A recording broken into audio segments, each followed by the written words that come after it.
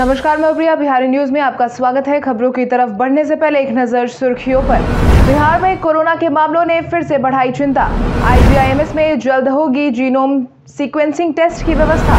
पंकज त्रिपाठी की मांग भोजपुरी संस्कृति को पारंपरिक स्वरूप में करे प्रसारित। उत्तर बिहार के लोगों का पटना आना जाना अब होगा आसान। स्पेशल स्टेटस की मांग पर बट गई नीतीश सरकार। अब चले बढ़ते हैं बिहार की शाम तक की बड़ी खबरों की ओर विस्तार से। पंकज त्रिपाठी की मांग भोजपुरी संस्कृति को पारंपरिक स्वरूप में करे प्रसारित बिहार से निकले अभिनेता पंकज त्रिपाठी आज किसी भी परिचय के मोहताज नहीं है, क्योंकि अभिनय की दुनिया में पंकज ने खूब नाम कमाया है।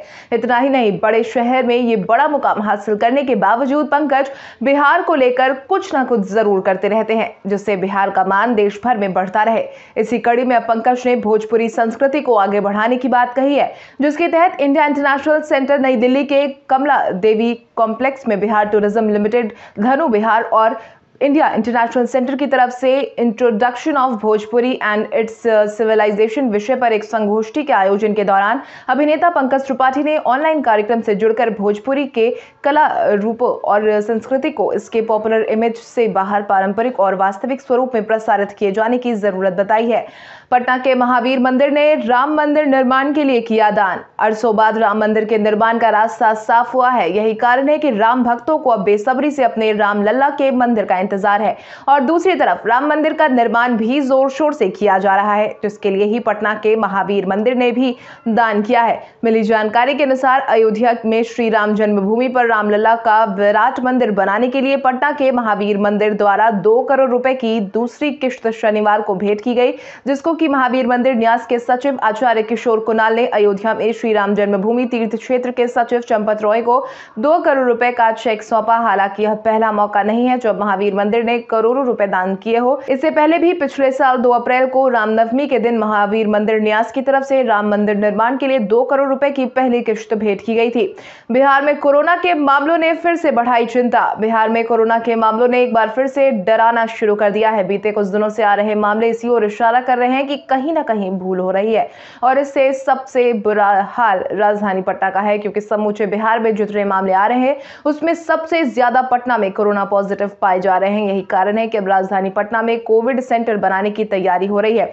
पाटलिपुत्र स्पोर्ट्स कॉम्प्लेक्स में 110 बेड का अस्पताल बनाने, जाने की तैयारी हो रही है। साथ ही सड़कों पर बिना मास्क के घूमने वालों पर भी सख्ती दिखाई जाएगी। आपकी जानकारी के लिए आपको बता दें, कोरोना की तीसरी लहर की संभावना को देखते हुए प्रशासनिक स्तर पर आवश्यक व्यवस्था सुनिश्चित कराने के लिए शनिवार को जिलाधिकारी ने वरीय अधिकारियों के साथ बैठक की थी और साथ ही जिलाधिकारी ने इस दौरान कहा कि अभी घबराने जैसी स्थिति नहीं है, लेकिन सजग और सावधान रहने पर तीसरी लहर की संभावना को खत्म किया जा सकता है।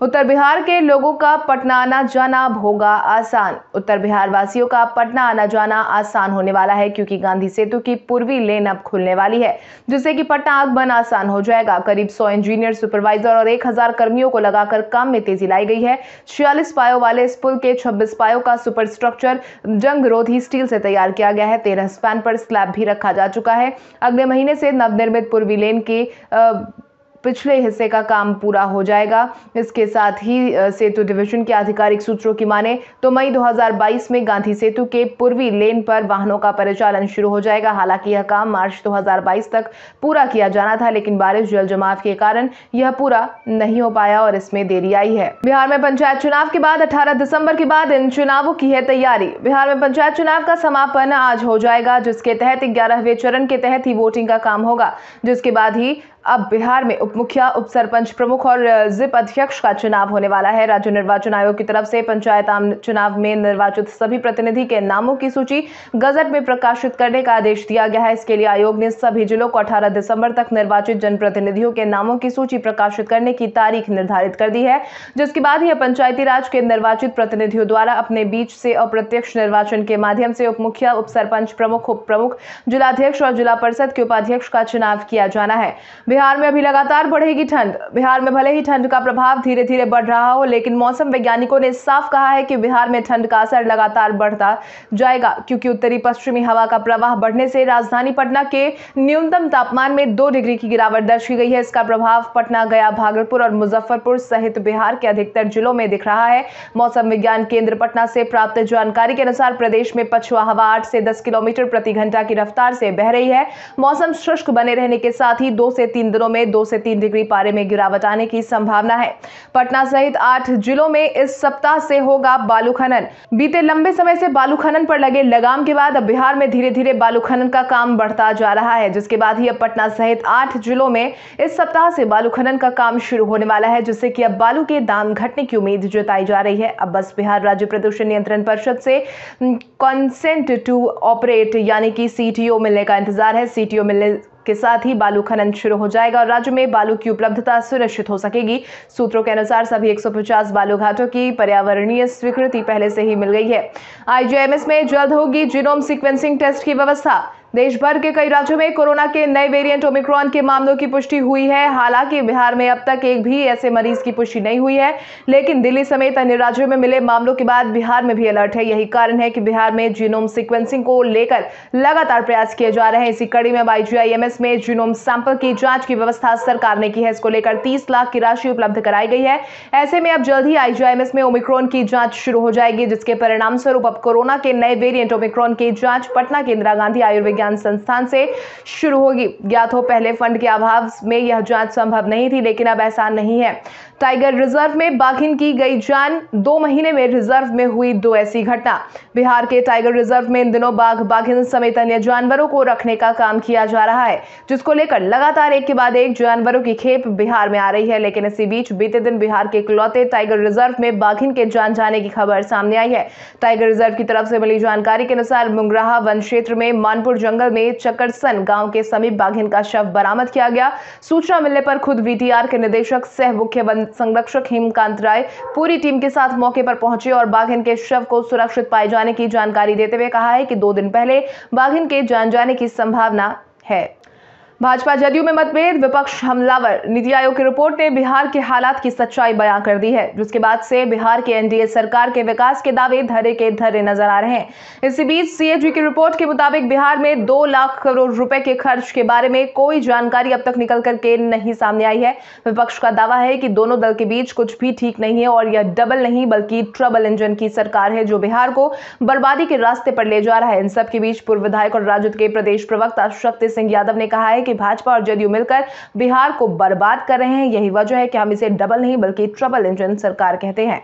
जदयू में शामिल होंगे सदानंद सिंह के बेटे। कांग्रेस के सदानंद सिंह आज इस दुनिया में नहीं है, लेकिन उन्होंने अपने जीते जी पार्टी की खूब सेवा की, लेकिन उनके आखिरी दिनों में कांग्रेस पलट कर भी उनके हालचाल को जाने नहीं आई, जिसके कारण ही सदानंद सिंह का परिवार काफ़ी आहत हुआ था। यही कारण है कि सदानंद सिंह के परिवार का झुकाव अब जदयू की तरफ़ हो रहा है।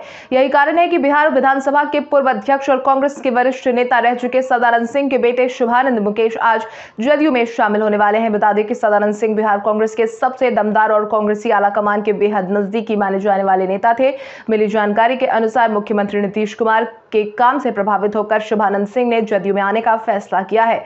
स्पेशल स्टेटस की मांग पर बट गई नीतीश सरकार। बिहार को विशेष राज्य का दर्जा दिए जाने की मांग कई सालों से होती आई है। खासकर नीतीश सरकार की यह मांग तो रही है कि बिहार को विशेष राज्य का दर्जा मिले, लेकिन अब इस मांग में एक नया मोड़ आ गया है। क्योंकि अब तक यही देखा जा रहा था कि नीतीश सरकार में शामिल हर कोई बिहार को विशेष राज्य का दर्जा देने की मांग कर रहा था, लेकिन अब डिप्टी सीएम के विचार इसे ठीक उलट है। प्रदेश की डिप्टी सीएम रेणु देवी ने कहा है कि केंद्र सरकार ने विशेष राज्य के दर्जा से अधिक पैसा बिहार को दिया है। बिहार में जितने पुल और सड़क बन रहे हैं, जितने बड़े बड़े प्रोजेक्ट बन रहे हैं, वो पैसा केंद्र सरकार दे रही है। ऐसी स्थिति में विशेष राज्य का दर्जा कहाँ मायने रखता है? विशेष राज्य के दर्जे में हम वही करते हैं जो हम चाहते हैं। दोनों की तुलना करें तो आज विशेष राज्य से अधिक पैसा राज्य को मिल रहा है। मामा ने भांजे को औकात में रहने की दी नसीहत। तेजस्वी यादव की शादी न हुई, मानो लालू परिवार ही दो धरों में बट गया है, जहाँ एक तरफ़ परिवार में खुशी है तो अंतर जातीय विवाह के कारण मामा साधु यादव खासा नाराज़ नज़र आ रहे हैं। यही कारण है कि तेजस्वी की शादी को लेकर लगातार बयान दे रहे हैं। वहीं हाल ही में तेज प्रताप यादव ने उन्हें पजामे से बाहर नहीं आने की नसीहत दी थी तो अब उन्होंने कहा है कि तेज प्रताप को मैं समझा दूँगा कि मैं क्या चीज़ हूँ। इतना ही नहीं, उन्होंने तेज प्रताप यादव को औकात पे रहने की नसीहत दी है, साथ ही साथ जीते जी लालू परिवार के सामने नहीं जाने की कसम भी खाई है। पीएम मोदी का ट्विटर अकाउंट हुआ हैक प्रधानमंत्री नरेंद्र मोदी के ट्विटर अकाउंट पर नज़र देश के साथ साथ विदेश तक रहती है। क्योंकि पीएम मोदी का ट्वीट बेहद ही अहम माना जाता है। बीते दिन भी ऐसा ही हुआ, जब पीएम नरेंद्र मोदी के ट्विटर हैंडल में तीन मिनट के भीतर बिटकॉइन को लेकर दो ट्वीट हुए। इससे ट्वीट किया गया कि भारत ने बिटकॉइन को आधिकारिक रूप से कानूनी मान्यता दे दी है। अन्य एक ट्वीट में दावा किया गया कि भारत ने आधिकारिक तौर पर 500 बीटीसी खरीद लिए हैं और उन्हें अपने निवासियों के बीच वितरित कर दिया है और इस संबंध में एक लिंक साझा की गई। हालाँकि गौर करने की बात यह रही कि उन्होंने यह ट्वीट किया ही नहीं, बल्कि उनका यह अकाउंट हैक कर लिया गया था। जिसके बाद ही पीएम मोदी के ट्विटर अकाउंट के हैक होने की खबर से हड़कंप मच गया। बाद में प्रधानमंत्री कार्यालय ने कहा कि ट्विटर के सम बाद में प्रधानमंत्री कार्यालय ने कहा कि ट्विटर के समक्ष मामला उठाने के बाद अकाउंट को तुरंत सुरक्षित कर लिया गया है।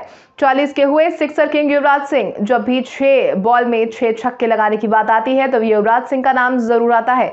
12 दिसंबर उन्नीस सौ इक्यासी को चंडीगढ़ में जन्मे युवराज सिंह आज यानी 12 दिसंबर 2021 को अपना चालीसवां जन्मदिन मना रहे हैं। लेकिन क्या आप जानते हैं कि उन्होंने इंटरनेशनल क्रिकेट के इतिहास में सबसे तेज अर्धशतक जोड़ने का काम किया है? सिक्सर किंग के नाम से फ़ेमस युवराज सिंह ने लंबे समय तक देश के लिए क्रिकेट खेली और वो सफल भी रहे। हैं। हालाँकि कैंसर के कारण वो कई साल इंटरनेशनल क्रिकेट से दूर ज़रूर रहे, लेकिन बाद में उन्होंने वापसी की थी और फिर से वो टीम का हिस्सा बने थे। हालाँकि अब उन्होंने क्रिकेट से संन्यास ले लिया है, लेकिन उनकी उपलब्धियों को कभी नहीं भुलाया जा सकता है। कल हमारे द्वारा पूछे गए सवाल का जवाब आप में से बहुत सारे यूज़र ने हमें कॉमेंट करके दिया था। उसके लिए आपका बहुत बहुत धन्यवाद। आप में से जिन यूज़र का कमेंट हमें अच्छा लगा है, उनके नाम है शंकर मुखिया, गणेश पासवान, सौरभ मिश्रा, बबलू तिवारी, नुन्नू कुमार, संदीप कुमार, पवन कुमार, छोटू ठाकुर, विकास पांडे, नुरुद्दीन खान, अखिलेश मिश्रा, मनीष कुमार। इसके अलावा हमारी टीम को और भी लोगों के जवाब अच्छे लगे हैं, मगर समय के अभाव के कारण हम उनका नाम नहीं ले पाए। लेकिन आप हमारे सवालों का जवाब देते रहे। हम कल आपका नाम लेने की पूरी कोशिश करेंगे। तो चलिए बढ़ते हैं आज के सवाल की ओर। आज का सवाल कुछ इस प्रकार है। आपके अनुसार मौसम में बदलाव के साथ क्या आपके इलाके में भी असर पड़ा है? अपने जवाब में कमेंट करके ज़रूर बताएँ। इसके साथ ही आज के लिए बस इतना ही। बिहार की बड़ी खबरों से अपडेटेड रहने के लिए हमारे यूट्यूब चैनल को सब्सक्राइब करें और बेल आइकॉन दबाना ना भूलें। धन्यवाद।